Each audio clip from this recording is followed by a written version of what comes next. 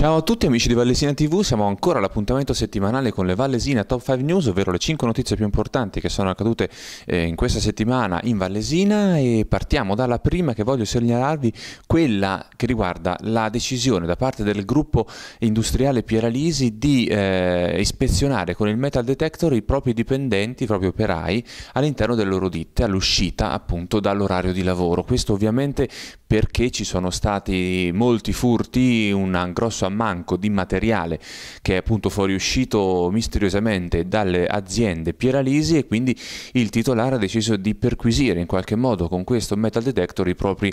eh, i propri dipendenti, i propri operai. Questo ovviamente non è piaciuto molto né ai sindacati né ad alcuni operai che si sono subito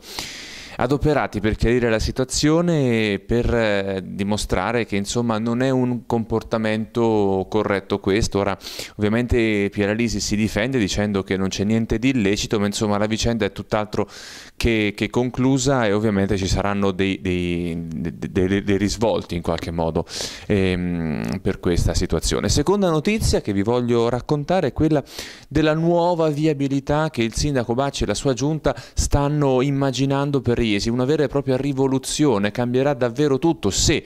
come spera la giunta Bacci, riusciranno a mettere a segno questo, eh, questo, tipo di cambiamenti. Si parte dal senso unico di cui abbiamo già parlato, di Corso Matteotti, fino all'inversione di marcia in via Setificio, fino al cambio di, di, destinazione da ZTL a vero e proprio divieto per la salita del Montirozzo, insomma sono tantissime le novità che proveremo anche a raccontarvi in un servizio che vedrete nei prossimi giorni, insomma davvero una, una rivoluzione che vedremo se riusciranno a mettere in atto e se eventualmente poi porterà a dei cambiamenti significativi. Terza notizia importante della settimana, quella dei falsi incidenti. Una cricca di 54 persone è stata indagata, sono stati indagati eh, per una truffa alle assicurazioni davvero importante. C'era di mezzo un avvocato di Taranto che aveva uno studio anche a Iesi che in pratica agevolava questo tipo di illeciti davvero di grosso conto. Insomma. Quindi eh, questa, questa truffa molto grande è stata appunto sgominata dal, dall'intervento delle forze di, di, di, della Guardia di Finanza. Insomma. Altra notizia, la quarta, quella che voglio raccontarvi, riguarda la Coperlat e la Trevalli, dove un dipendente è riuscito a trovare un sistema per rubare una marea di soldi alla propria ditta, si parla davvero di tantissimi soldi. Questa, questo sistema è stato però finalmente eh, scoperto e ora si indaga se ci possano essere delle altre persone che abbiano utilizzato questo tipo di trucco per eh,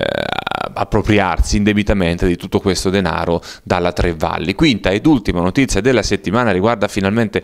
la cattura di due rumeni, ancora una volta della delinquenza che sta sempre più prendendo piede anche in Vallesina. Questi due rumeni sono accusati, anzi ormai è, è dimostrato che sono stati gli, eh, gli, esecutori di una marea di, eh, di, di, furti nelle ville, specialmente nelle ville, ma insomma in numerose abitazioni in tutta la provincia di Ancona, anche specialmente nella Vallesina, verso eh, Moie, eh, Monzano, Iesi, insomma davvero una, una cattura eccellente perché comunque riguarda dei, degli individui molto pericolosi che hanno appunto